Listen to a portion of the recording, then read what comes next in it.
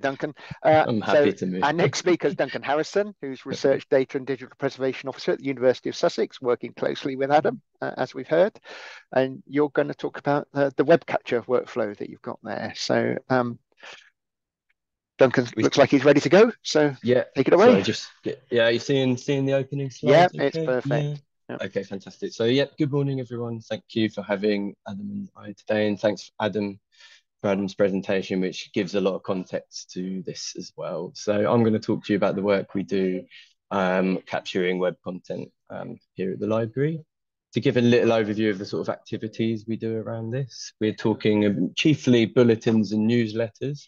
Um, that's the basis and the most of our of our current workflow and the stuff we capture most regularly.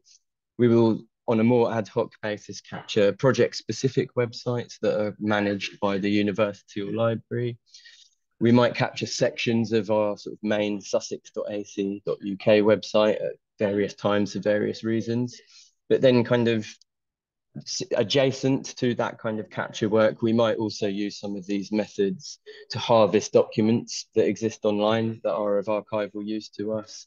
And maybe as a very separate thing, we also do some teaching and advocacy around web archives here, chiefly through postgraduate research, digital skills, um, digital skills seminars, but also internally among interested staff here at the library. So it's nice that we're able to do that. Um, the kinds of people, the stakeholders involved in creating and managing this content would be researchers, academics, and departments here at the university. But there's also project leads on temporary funded things. Um, staff here at the library, we have a pretty active library blog, so they're creating content. And then a large amount of it comes from our internal comms team here at the library who manage things like the bulletin and the newsletters. So we're in contact with them. And then that, in terms of our sort of archival strategy for it, that comes through the special collections archivist and myself and Adam on the digital development and systems team. So the big reasons why we've developed this workflow and some of the issues that it sets out to address are that content moves from paper to digital quite frequently, and like particularly in the case of our bulletins and newsletters, um, we had to come up with a solution as the paper was phased out. Um, projects obviously end, and then the websites that are connected to them have no one left to look after them. So they need to be preserved as outputs of, of uh, that piece of university activity. Content sometimes simply gets removed or migrated elsewhere. For example, library blog that we had um, existed for many years in one place that was an internal blog, but then we decided to make it public, but that meant certain things that uh, existed on it needed to be removed. Um, and we took a capture of it before we had done that.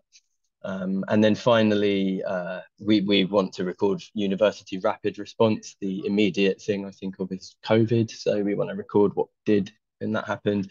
And all of this is to kind of work towards actively preserving the institutional memory of the university and the library. Um, so the way it developed and what we did to kind of start developing this workflow was basically it all it came really and it is always driven by a matter of wanting to increase capacity and always look at how we can do things a little bit better, maybe to a little bit of a higher standard than we already are. Um, particularly since my post came about and this work is able to be done a bit more regularly. Um, so a lot of research into the methods and standards that inform web archiving has kind of gone into has gone into this work, and along with that, testing of open source tools. Um, a lot of engagement with communities of practice around not only web archives but digital practice, uh, digital preservation practices in general. Like there's lots and lots to do with all of our workflows that we learn from DPC and events that are hosted by the DPC and beyond. Um, and then the really important thing is loads and loads of getting things wrong and failing and having to go back to the drawing board has informed this workflow. And I think it's important to talk about that in a space like this because it's very easy to think that if you're not doing things perfectly right away, then you're bad at your job. But I think the maybe less discussed reality of these things is that we've all got maybe not that many people doing this work and no one can be an expert in everything and we all have to learn so being given the space to get things wrong and try again is one of the most valuable um, aspects of this job for me and, and informs everything about this workflow Um, just like Adam did, I'm going to summarize these tools because it's not really for me to go into the kind of nuts and bolts of how it all works. Um, you can research all of these things later if you want. They're quite well known and common tools. However, you've got three uh, different methods of web capture on the left here, Conifer, Archive Web, and wget. Conifer and Archive Web are manual web capture tools, which essentially let you record a browsing session, very, very easy to use and have a graphical interface. Whereas wget is a command line web crawler that we use via an instance of Linux on our Windows machines. Much more complex, but you can do much more with it. Um, everyone will have heard of Google Drive, but that's quite key to one of these workflows where we use it in tandem with a really handy app called Drive to Web, which allows us to publish HTML content hosted in either Google Drive or OneDrive. And whilst it's not a tool in the same way, we'll be making reference over and over again to web archive files or WARCs um, which is the agreed upon, generally agreed upon standard uh, and output file for this kind of work. And to briefly explain, you can think of it something like a zip folder, a container file, which links together various assets, instructions, and bits of metadata uh, that, are, that tell you how the website behaves, looks, and operates. And when you use them in tandem with particular bits of software, you can replay them, so to speak, and it replicates your original browsing experience. Um, so we'll just move on. I begin to sort of talk about these workflows by making reference to our bulletins and newsletters because that was the main thing that forced us into having to think about it a bit more. Um, they come to us in quite a standard format in an email where it's just, you know, it's images, headlines, summaries of articles, but then links out to dynamic web content. So they come as emails, but they link out to other things on our website and beyond. And it's both of those elements we want to capture. And important to note as well is that on the right hand side, I've got an image that shows you have these time sensitive links that particularly advertise events and so on.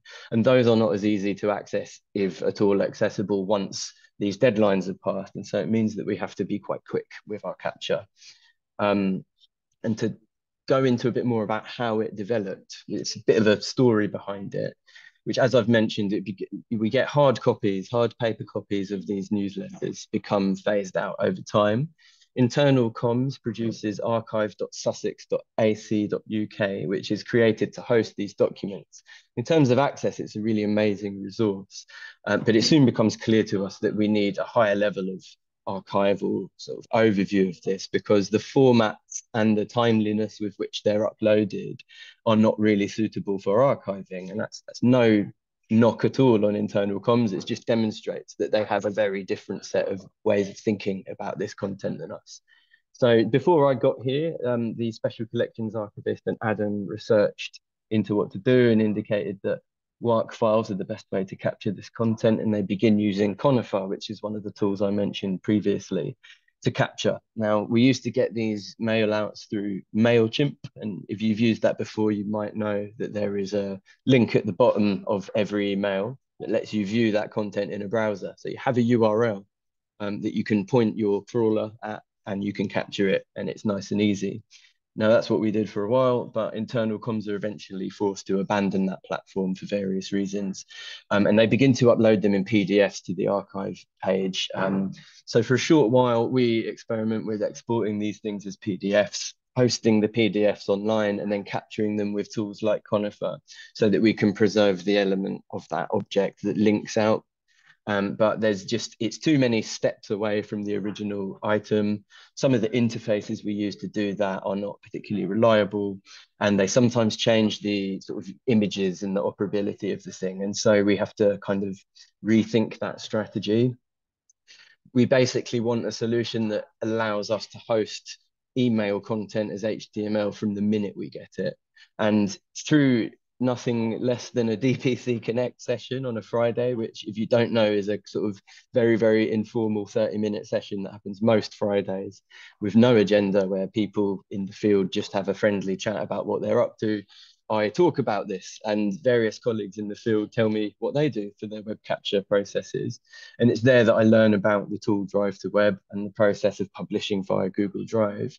Um, I also at the same time revisit archiveweb.page, which I've looked at before. And over time, I realized that in, in combination with this Google Drive and Drive to Web process, it's a much more reliable, uh, user-friendly tool for me. So we abandoned Conifer in favor of that process. And also alongside all of this, I've slowly and painfully been learning wget um, and some of the things I would use that tool for, I can do um, to this process as well. And the end result of that is really that since June 2023 last year, we've now got a really good workflow in place. It gets carried out a few times a week and we're able to flexibly apply it to all kinds of different content and our problem is solved really. So quick overview of that. Email bulletins arrive, immediately I'm able to save it as HTML content. I package those files up into a folder. They are moved through to Google Drive, and then they are pushed through to a URL and published via Drive to Web. I then have that bulletin content available as a URL, which I can look at online through a browser. And using any one of these three tools that I mentioned earlier, I'm able to capture that content. And that's that's what we do. Um, I just want to make mention here that Web Recorder actually has some really interesting and helpful indexing functions, uh, which produce extra metadata, which is wrapped up in what is known as a WACZ file. But within that is a WARC file, and it all behaves the same. Uh, and so sometimes it's the case that I can use a combination of these tools and patch it together with Webrecorder if I want uh, to gain that indexing. So in terms of when we have larger projects to do, it's uh, some in some ways a simpler uh, process, but um, when you get into large websites, you run into problems where there are multiple pages and a much more complex architecture that links them all together. Manually crawling it is entirely possible, but it would be very time consuming and it would basically be prone to error, by which I mean human error. I would struggle to keep tabs of what I've done and, uh, and I'm much more likely to miss things and get them wrong. Um, so what we also might want to do whilst we're capturing, or instead of just capturing a work of this of this website, we might want to harvest individual um, assets that are hosted on there, such as PDFs, maybe images, maybe audio files. Um, and so for that, we would want to be looking at using wget here. Now, I'm not going. I'm not going to be able to explain wget in very much detail, but I can say that there are things you can do in your commands that um, make all of these problems much much easier to deal with. So you can define the depth of your crawl for for starters. So you, I, i.e., how many clicks, right? If I've got a website, I can say I want it to click on every link on that page and then every link again, and so on and so on. Or I could get it to mirror the whole site. I can restrict to the domain that, that my content is hosted in. So if I say that wget, I only want you to capture things with the domain sussex.ac.uk, it's not going to link out to external things and basically give me a small version of Google on my hard drive. Yeah, I can restrict the hierarchy of the crawl. So if I'm looking at a kind of subdirectory, i.e. here I've just written sussex.ac.uk example page, I can say I don't want it to go any higher than that which means I don't get top level sort of home pages that I don't need. And then depending on what I'm going to do, I can create or not create directories for all the files I get, which make them much easier to access. Um, and I can define what will be saved and deleted within that crawl. So go on. Um, the text you see in the middle here is, is what that looks like. We've got, we're, we're pointing wget at this URL. We're saying that we want to mirror the whole website or sort of as an alternative, we could ask it to recursively crawl to three links deep. I've restricted the domains to Sussex and told it I don't want it to go any higher than that in the hierarchy. Page requisites means that it downloads all of the assets needed to re represent the page, uh, like everything that needs to be needs to be there to, to look like a proper website. Um, span hosts means that should there be any content living outside Sussex, so, so let's say we had something hosted on an image hosting website, it would retrieve from that other host. And convert links means that everything will be converted so that it will work in a static offline version. And finally, I've said that I want it to output that as a WARC file. And the end result of that interaction between my URL and wget is that I get a big folder with all of the assets in there that I can do what I want with. And there's a WARC file in there that I can archive and replay. So Move on quickly now. What we can just a little bit on the storage and cataloging. Adam's given the overall context here. Our files are stored in instances of uh, Box, which are managed by the university, um, and staff who need to see that can can uh, gain access to it.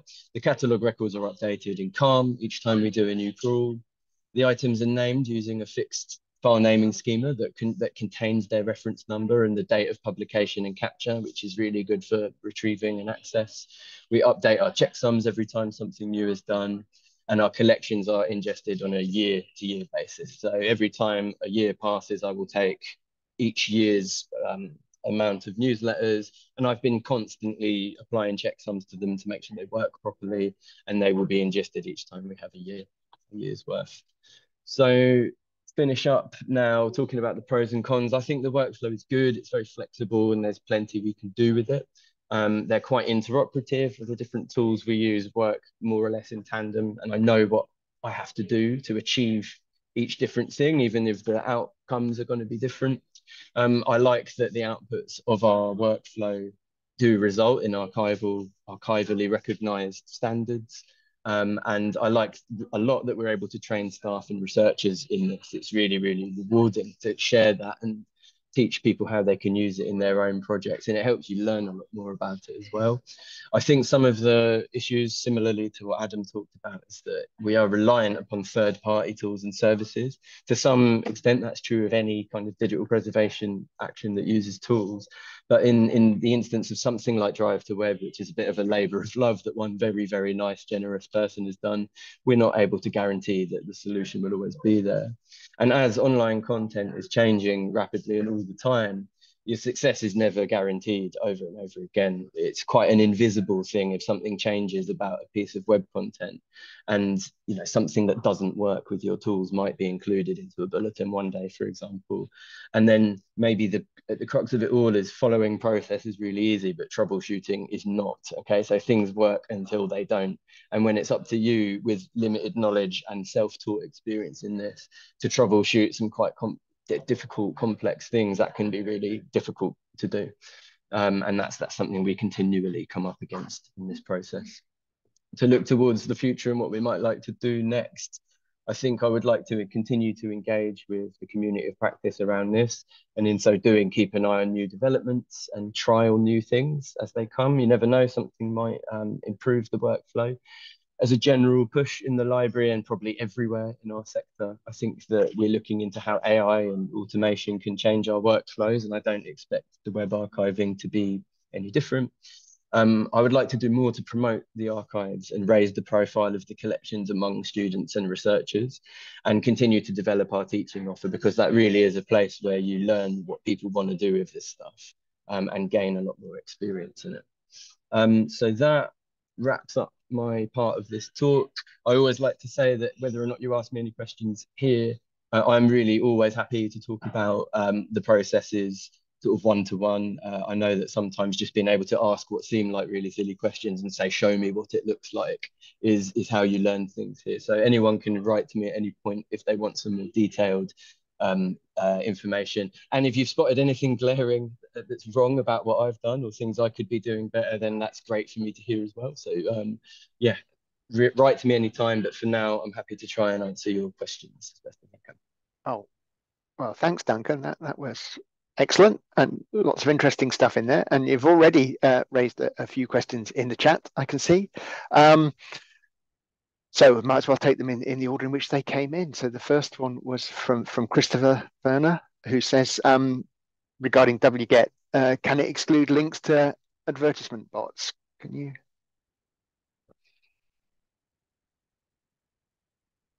I think you're muted, Duncan. So I had to stop sharing there to get my, That's okay. Uh, mic, Sorry, to get my I... mic back. Hopefully you took note of my email if you need it. Can wget exclude links advertisement bots? I don't know. Uh, that isn't. You can you can get it to ignore certain things embedded in websites. I don't have much experience with advertising bots, uh, chiefly because a lot of what we capture is internal to Sussex, where that stuff doesn't exist. Um, I don't want to give you an uninformed answer to that, but but what I would say is that there is a lot that can be done with it, and an exhaustive guide to the different sorts of flags. And there's also a mailing list where people talk about um, talk about the kinds of things they're trying to do and, and struggling with. Um, so yeah, I'm sorry, it's not a very satisfactory answer. I would like to sort of confidently say you might be able to, given how much there is to it that I honestly don't ever use and have not had um, pause to use, but it's something I wouldn't want to guarantee. I'm, I'm sorry about that. That's okay. As we're all learning, so yeah, uh, maybe maybe someone will, will, know more and can, can, respond in the chat, or as you say, mm-hmm. we can bring it up at a, a future conversation. Uh, the next uh, uh, a couple of questions from Ruth McGuire, uh, I, and I suggest we probably take them in reverse order, actually, where she sure. ends by saying, uh, do you, do you, upload the WARC files to Arkivum?" Mm-hmm. Yes, yeah, we do. That's where we upload everything. Um, I do know that uh, when I said oh, Preservica, which we don't use, that, that actually, I think that has an internal WARC replay mechanism. So if anyone is used, we use Arkivum and it's fine. We don't need Arkivum to look at what's in the WARCs, and we're perfectly happy with that as a storage solution. But if anyone is using uh, Preservica, I think you can view your WARCs in that. So something to know about. And I see the other question here is about bulletins on the intranet. So they're not on the intranet. Um, they are content that is developed sort of in a closed off area by the internal comms team, and they exist in mailouts. And when they want to put them up for kind of public view, they'll bounce them out to a PDF and host it on archive.sussex. Some of the content might be uh, behind the staff wall. So, and that's an important thing I need to mention about when you write to WARC is so if I sign in with my staff credentials in that WARC file, that's going to be in there somewhere, right? You're going to be able to see my credentials um, and my password. I'm not worried with people knowing that I'm the person that did the crawl, but it would it would be true that for now as a closed thing that's completely internal it's fine but if, if that does get to a point where we are publicly issuing those to people i would probably want to go into that file and find every instance of my password and uh, and blank it basically um, yeah something to think about i've often recommended to researchers and students that if they want to use it to capture social media that they maybe use a completely separate account that they're doing just for that work Okay. Just give people a, a, a chance to think whilst I just throw one at you myself, which is that for your sort of project websites and your sort mm. of the, the kind of university outward facing stuff, yeah. the very public stuff. Yeah. Um, and maybe I missed this. Why did you decide to sort of essentially do it yourself and keep it in house rather than kind of effectively either use something like, you know, the, the uh, Internet Archive, the Archive service, or or push the UK Web Archive to sort of record it as part of the kind of national record of, given that a lot of these things are publicly funded, uh, and then it might save you some grief. No, no, and you're right. And one thing I didn't really have a I didn't really have an appropriate place to slot this into the talk. But um, when I mentioned the DPC Connect session where I learned about a few of these things, someone did direct me to towards the UK Web Archive, and so some of the work we would have been trying to do um, to capture very large parts of the website we we found is being done by the UK Web Archive, and we consider that to be a sufficient bit of archiving for some of that very very high level stuff. But the reasons for taking the project stuff uh, in house is because we uh, I, using Internet Archive. So someone, oh, accidental bit of uh, interference there, but um, sorry. So that's okay. We we do it ourselves because we like to. Um, one is some of it's about having a project to learn with. Um, but we like to be able to kind of create our own copies that are much easier than to share if we need to with researchers. So it would be pretty easy to do if I used Internet Archive, but I wouldn't have quite so much control over the results of that crawl. And it would, of course, then be the case that certain things were publicly available that I might not want to be. Um, and so doing it ourselves is a nice thing to do, even in addition to existing solutions, because like where we keep it in box, for example, makes it very, very simple to share with people if we want. We can get people to sign various forms that say they won't do terrible things with it and then we can link them directly to it and give them instructions with how to work and so you know i do think that in time a conversation with something like uk web archive would be fantastic to have but in terms of the speed of the access, making mm. our own copies of things, and and when you consider that it's kind of an outgrowth of stuff we have to do anyway for other work, it, it makes sense to do it. Mm. Okay. Well, thanks very much, Duncan uh, and Adam. Uh, uh, and I know you put up your contact details, and, and we always say if if people have any uh, follow-up questions, you're always welcome to send them via the DPC, and we can pass them on. And people are beating me to the suggestion of a virtual applause for both Adam and Duncan. Uh, so uh, I'm going to do it myself now. If I can click on the right icon, there we go. So thanks again, guys.